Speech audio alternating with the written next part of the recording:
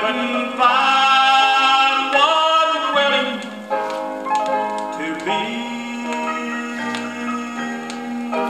the supreme sacrifice